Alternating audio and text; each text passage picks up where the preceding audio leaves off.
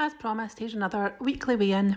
So this week I weigh 15 stone 7 and again, I say this every week, it's really not been so much through trying like I used to when I was doing keto. So this weight is been pretty consistent for the past few weeks, uh, which is really good. I'm glad that it's not gone up even more. At the start of the week, so last Monday actually, I had one of my really terrible migraines and it always comes with a whole day, if not more, of sickness.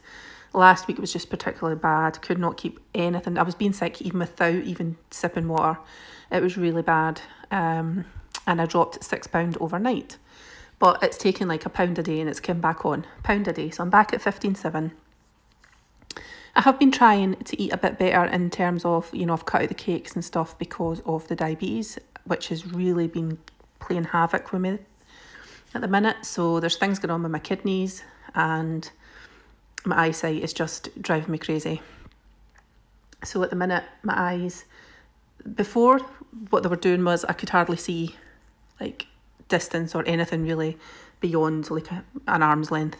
So I couldn't drive or anything for a while there. And then that cleared up, thank God. But now I've got the opposite problem. So now I can't see things close up. So when I'm using my phone, I'm having to take my glasses off and put the screen right to my face. So which is making it impossible to try and do PhD work. But I've got some reading glasses coming today from Amazon. So a friend had maybe said, you know, maybe I'd benefit from some reading glasses.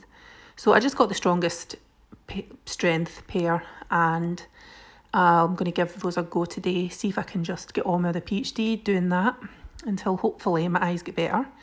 There is a real fear that my eyes are not going to get better. That's something that's really been bothering me.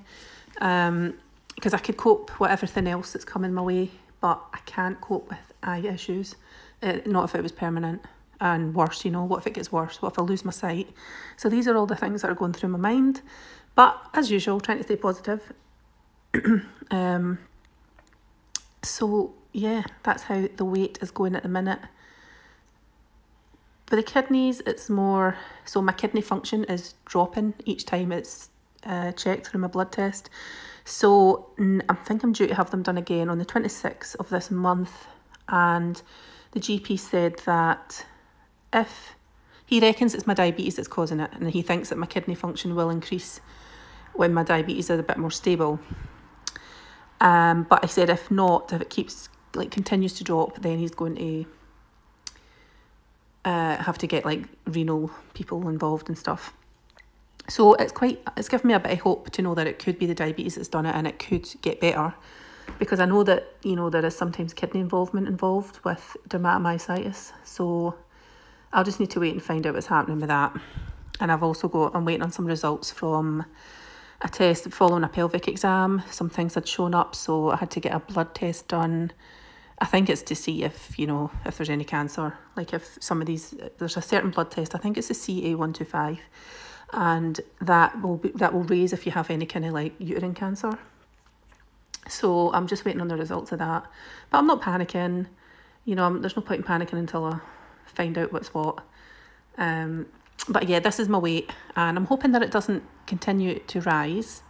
I'm hoping if it stays at this and then maybe loses a bit but I'm on two different types of diabetes meds now, and one of them is uh, causes weight gain.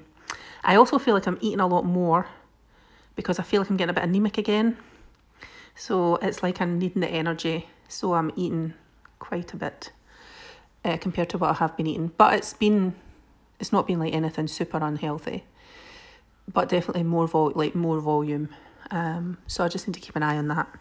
But I'd rather have the energy than worry about being slim. So uh, that's that for the minute. But as always, I will post again next week about my weight and anything in between.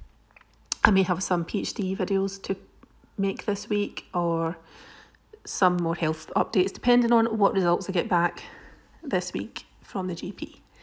So I wish you all the best for your own goals and I hope you get to spend your spoons on something fun.